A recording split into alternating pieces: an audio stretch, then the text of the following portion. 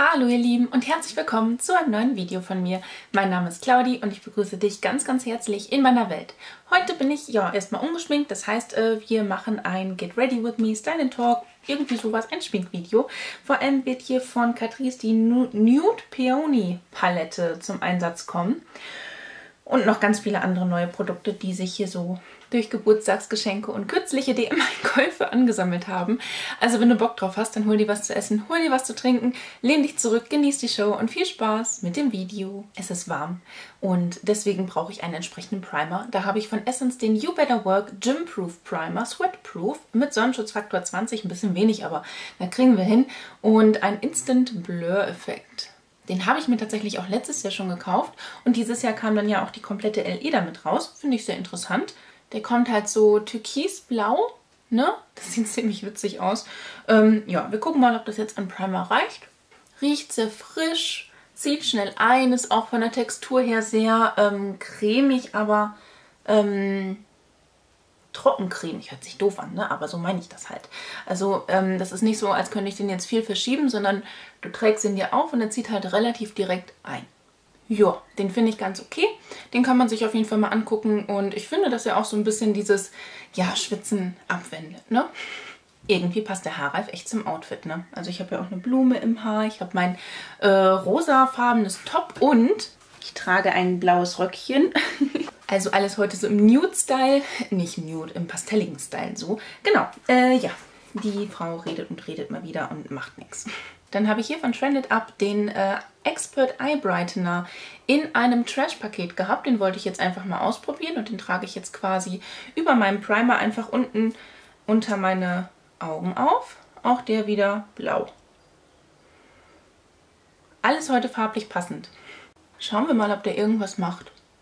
Der fühlt sich sehr, sehr trocken an. Also das ist sehr merkwürdig und hat jetzt irgendwie den Effekt. Ob das jetzt einen Effekt gegeben hat? Ein bisschen, ne? Mal schauen, wie der sich verhält, wenn der Concealer drüber kommt. Da bin ich sehr gespannt. So, aber wir geben erstmal eine Foundation drüber. Da habe ich jetzt hier in meinem Probenprojekt für diesen Monat äh, von Benefit die Hello Happy Soft Blur Foundation in der Farbe 2. Das ist ja eine kleine 6 Milliliter Probe und die wird jetzt benutzt. Selbst die Probe hat so einen coolen Applikator. Das finde ich ja großartig. Trage ich mir dann erstmal wie Schnurrbarthaare auf und verteile ich mir mit meinen Händen. Oh, die riecht schon mal ganz gut. Scheint farblich auch wohl ganz gut zu passen. Ja, blende ich mir mal mit meinem ähm, Real Techniques Beauty Schwämmchen ein ist mein Hautton, Leute. Ne? Gefällt mir richtig gut.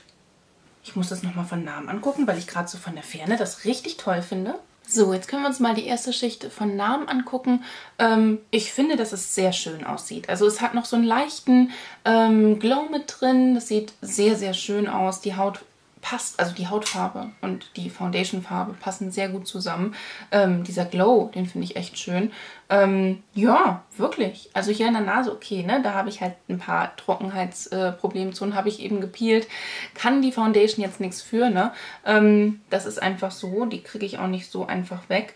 Ich versuche jetzt nochmal so ein bisschen die Foundation aufzubauen. Ich finde jetzt gerade hier so an dieser Stelle, ne? Da möchte ich gerne ein bisschen noch aufbauen. Aber oh, ist das ein schönes Gefühl. Das ist schön. Wow.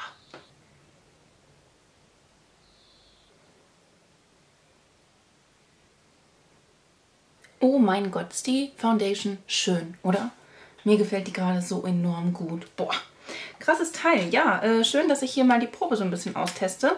Da habe ich auch noch ein bisschen länger was von. Richtig cool. Nehmen wir uns einen Concealer. Da habe ich hier von Catrice de... Ups, den äh, Retouch Light Reflecting Concealer. Der soll hydratisieren und toll sein und, und, und. Kommt hier mit so einem Bürstchen, wo man drehen muss. Das finde ich eigentlich immer doof. Das mag ich nicht. Ich mag Puffeldinger, aber dieses hier mag ich eigentlich nicht so gerne. Aber gut. Achso, welche Farbe ist das eigentlich, ne? Das ist eine gute Frage. Das ist die Farbe 010 Ivory. Und den gebe ich mir mal unter die Augen. Fühlt sich sehr, sehr trocken an jetzt im Auftrag. Sehr äh, trocken. Fest von der Konsistenz her. Und den blenden wir doch jetzt auch mal ein. Wirklich deckend ist er nicht, verleiht aber schon so ein bisschen Leuchtkraft. Wäre jetzt aber nicht mein favorisierter, weil ich finde, dass der sehr fleckig wirkt. Und halt durch die Konsistenz, ne, das gefällt mir nicht so gut. Da habe ich schon andere, die mir besser gefallen. Aber ich muss mal gucken, wie er sich verhält, ob er in die Fältchen kriecht. Kann ich jetzt ja auf den ersten Blick nicht so gut sagen. Hm, hier brauche ich noch ein bisschen mehr. Hier. Der legt sich so richtig auf die Haut. Das ist irgendwie schon ein bisschen schwierig. Ich möchte aber noch hier unten so ein bisschen was abdecken.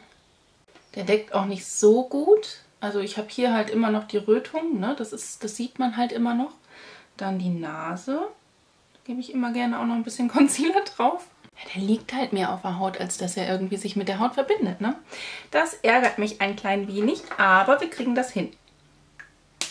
Also bislang nicht ganz so begeistert. Genauso wie von dem Under Eye Brightener von Trended Up. Hm setten wir das Ganze mit meinem Manakada-Puder. Ich finde, heute habe ich meinen Hautton doch echt ganz gut getroffen mit den ganzen Base-Produkten, oder? Das sieht schon mal ganz gut aus. Und ich muss halt echt sagen, bei dem Puder, das rettet wirklich alles. Ne? Das macht alles dann wirklich nochmal ein Stück weit, Stück weit smoother und schöner und ebenmäßiger und ach, gutes Puder. Wirklich gutes Puder.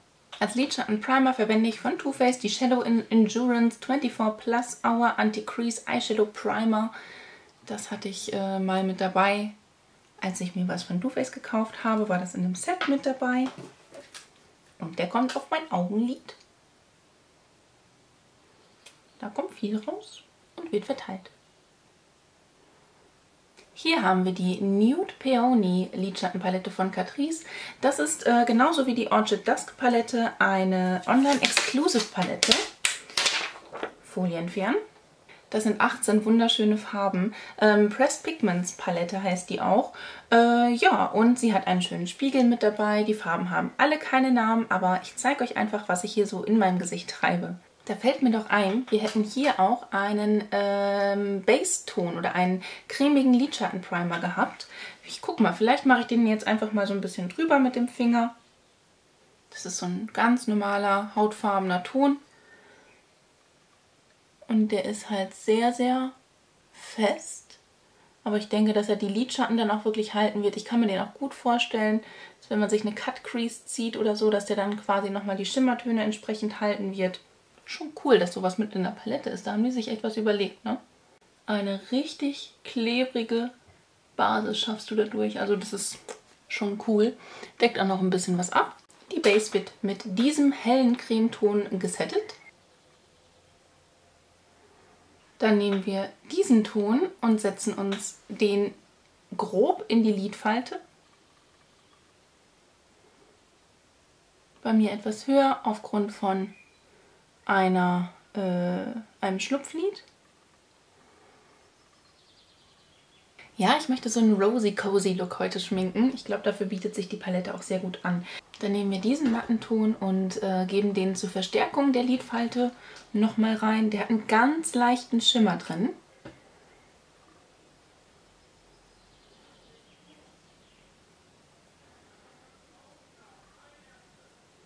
Also ich muss schon sagen, dass mir die Pigmentierung von der Palette wirklich gut gefällt. Der Spiegel ist auch schön, der verzerrt nicht und man kann es sehr, sehr gut sehen. Und ähm, ja, ich komme damit sehr, sehr gut klar. Normalerweise bin ich ja... Ist es kurz oder weitsichtig? Ich kann das, was in der Ferne ist, nicht so gut sehen. Genau, und ähm, deswegen bietet sich das an, dass man auch einen schönen Spiegel hat, wo man auch alles sehen kann. Dann nehme ich mir mit einem Smudger-Pinsel diese Farbe. Wie schön die funkelt, ne? Ach, richtig stark rein und presse mir den aufs komplette bewegliche Lid.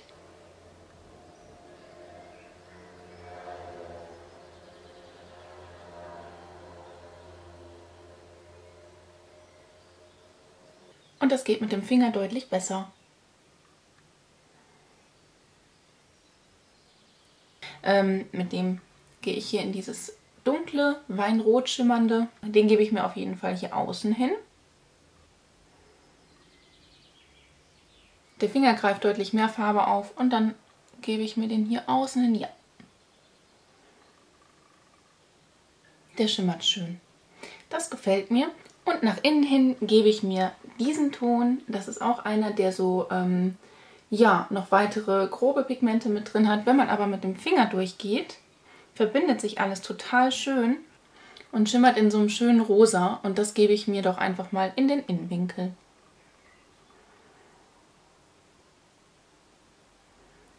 Ja, sieht ganz okay aus, haut mich jetzt aber nicht vom Hocker, muss ich gestehen.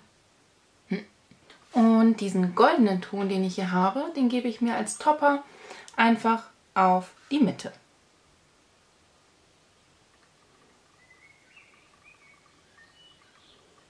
Der sieht ganz gut aus. Das harmoniert doch ganz gut. Das gefällt mir wohl. Wir haben kein Fallout. Das ist schon mal ganz cool. Ähm, ja, mit diesem Ton von eben, mit dem ich die Base auch gesettet habe, verblende ich mal eben nach oben hin so ein bisschen die Kanten. Und für unter meinem Auge äh, nehme ich diese Farbe und ähm, ja, setze mir die einfach dorthin, presse mir die dort richtig an und ziehe die auch nur bis zur Hälfte. Erinnert mich sehr an den Look, den ich auch mit der Orchid Dusk Palette geschminkt habe. Und ich versuche mal, ob ich den Ton tatsächlich auf die innere Hälfte meines Augen unten unteren Wimpernkratzes geben kann.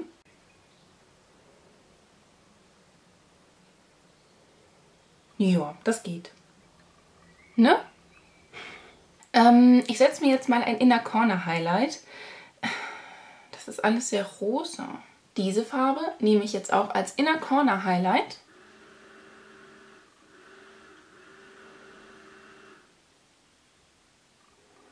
Hm. Das ist mir doch ein bisschen zu rot, ne? Das sieht dann auch ein bisschen kränklich aus. Ich weiß nicht. Wenn mir das dann gleich gefällt, vielleicht mache ich da gleich noch den normalen Highlighter auch drüber. Mal schauen. Also so gefällt mir das jetzt nicht unbedingt, ähm, weil es halt dann wirklich nach kranken Augen aussieht. Das brauche ich nicht unbedingt. So, mm, das war es aber auch erstmal mit dieser Palette. Was sage ich zu der Palette? Ich kann sie bedingt empfehlen. Wenn du noch nicht die Orchid Dusk Palette hast oder eine, die halt so wirklich sich auf die rosa Farben äh, konzentriert, ist das auf jeden Fall mal eine schöne Geschichte, sich die anzuschauen. Ähm, ist jetzt aber nicht unbedingt ein Must-Have. Ich finde, dass sie schön ist, ja. Dass sie sich schön verarbeiten lässt, ja. Aber ist jetzt nicht das Nonplusultra. Für meine Augenbrauen verwende ich wieder den Augenbrauenstift von Catrice Cosmetics, den Eyebrow Stylist in der Farbe Date with Ashton. Und zum Fixieren meiner Augenbrauen verwende ich den äh, Benefit 24 Hours Brow Setter. Das ist dieser mega süße Zauberstab Gel Moped Gedöns. So, dann müssen wir jetzt mal die Base zu Ende machen. Da nehme ich als allererstes den Bronzer von Physicians Formula Nude Wear. Der hat so einen leichten Schimmer auch mit drin und ähm, damit wärme ich mein Gesicht jetzt einfach mal auf.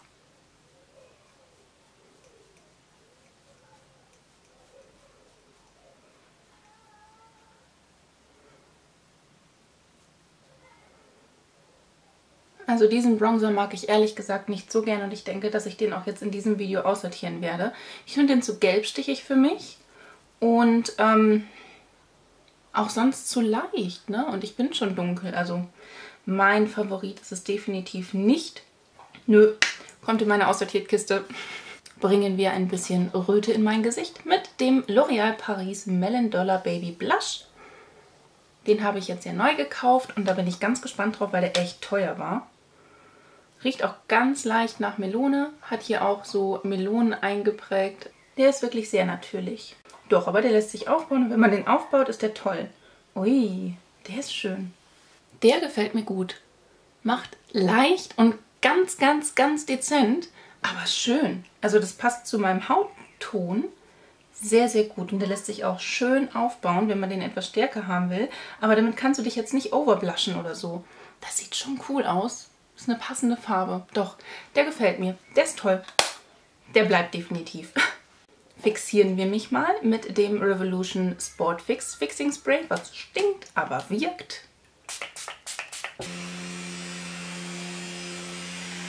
Als Eyeliner verwende ich von Trended Up den Ultra Shine Eyeliner Pen in Waterproof. Der hat eine schöne spitze Filzstifte. Spitze. Filzstift Spitze. Das hat gut funktioniert heute. Ein Good Eyeliner Day. So, Mascara. Iconista von Catrice. Die habe ich mir in meinem Kosmetik for Less äh, Einkauf gegönnt. Ein mini, mini, mini, mini, mini Bürstchen mit äh, Gummiborsten. Ohne Mascara. Erste Schicht. Zweite Schicht. Dritte Schicht. Ich finde die wohl ganz cool, aber sie ist gar nicht so leicht aufzutragen. Also du hast halt an dem äh, Bürstchen enorm viel Produkt, was du auf jeden Fall abstreifen solltest, weil du es ansonsten wirklich in den Wimpern drin sitzen hast. Ne? Da siehst du auch das ein oder andere Klümpchen. Also es ist gar nicht so leicht damit zu arbeiten und man muss sich sehr viel Zeit dafür nehmen. Das Ergebnis finde ich aber wundervoll. Highlighter. Da habe ich hier von iHeart Make-up, iHeart, nee, von iHeart Revolution diese kleine Palette. Das ist Rose Gold Glow Palette, die so aussieht. Und äh, ich hatte die ja schon in meinem Kosmetik Less Haul einmal so drüber gemacht und fand die umwerfend und habe auch nachher beim Videoschneiden meiner ganzen Videos, wo ich das drauf hatte, gedacht, voll der nasse, geile Glow Cloudy. Ja, mh. Mm. hier habe ich einen Highlighterpinsel. Gehe ich erst in diesen Rosi Ton rein. Ja, wir wollen es heute gerne etwas schön glowy haben. Und dann trage ich ihn mir auf. Der macht einen wundervollen, nassen Glow. Also wenn ihr die Möglichkeit habt, mal bei Kosmetikvolles reinzuschauen, ich meine, es ist ganz einfach, www.kosmetikvolles.de, zack, schon hast du die Möglichkeit da reinzuschauen.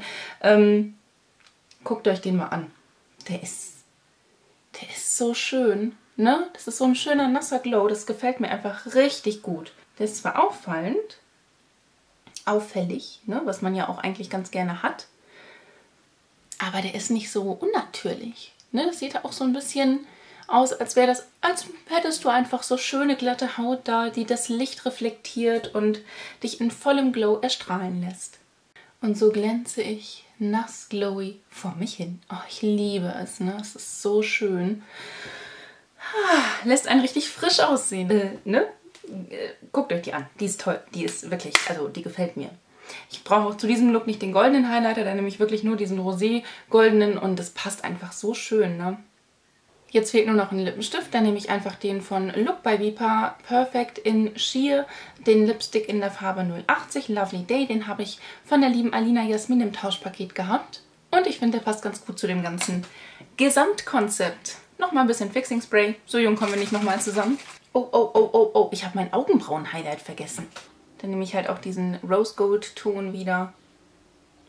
Setze mir den hier mit einem ganz normalen Blendepinsel einfach unter die Augenbraue. Und als Inner Corner Highlight setze ich mir den jetzt auch einfach nochmal drüber. Auch ich glaube, ich setze mir den goldenen da auch noch ein bisschen drüber. Passt sehr schön zusammen. Hm. Heute lasse ich meine Haare mal im Dutt, weil äh, es ist wirklich warm draußen und da stören mich die Haare einfach. Ähm, ja, das ist jetzt tatsächlich mein fertiger Look zum Motto Cozy Pink. So, ganz grob. Also mir gefällt es richtig gut und ähm, ich hole euch nochmal kurz näher dran, dann kannst du das auch von Namen sehen. Also ich finde, es ist alles echt stimmig, ne? Die Palette gefällt mir jetzt so im Gesamtkonzept, wenn ich auch Augenbrauen und Wimpern und Eyeliner und so drauf habe, auch ganz gut. Sie ist ein bisschen heller als die Orchid Dusk. Also sie kann vielleicht als Ergänzung gesehen werden. Aber wie gesagt, es ist kein Must-Have. Mir gefällt die Foundation richtig gut. Ähm, ja, die beiden Unteraugenprodukte, sprich Concealer und der ähm, Eye Brightener werden weiter wandern, denn hat mir nicht wirklich was gebracht. Ich finde, ich habe immer noch ein bisschen Augenschatten. Ich finde, dass ähm, ich deutlich bessere andere Concealer aktuell habe. Und ähm, ja, der Bronzer wird auch weiter wandern, denn man sieht nichts. Man sieht einen Hauch von dem Blush, was ich schön finde. Ähm, würde ich bei diesem Look auch gar nicht doller haben wollen. Von daher ist es super. Und ja, das äh, ist der fertige Look. Ich hoffe, es gefällt euch. Also, ich bin hin und weg. Ja, ihr Lieben, ich hoffe, euch hat mein Video gefallen. Wenn dem so ist, dann lasst mir doch sehr, sehr gerne einen Daumen nach oben da. Da würde ich mich wirklich drüber freuen. Ansonsten wünsche ich dir einen wunderschönen Tag, einen wunderschönen Abend. Lass es dir ganz einfach gut gehen. Fühl dich ganz doll gedrückt von mir. Ich verlinke dir mal hier oben meine Playlist zu den ganzen Style Talk Videos. Hier unten meinen neuesten Upload. Auf dieser Seite noch ein Video von mir. Und hier oben kannst du, wenn du möchtest und es vielleicht noch nicht getan hast, mich sehr, sehr gerne einmal kostenlos abonnieren. Da würde ich mich wirklich drüber freuen. Lass es dir gut gehen und hoffentlich bis zum nächsten Mal. Ciao!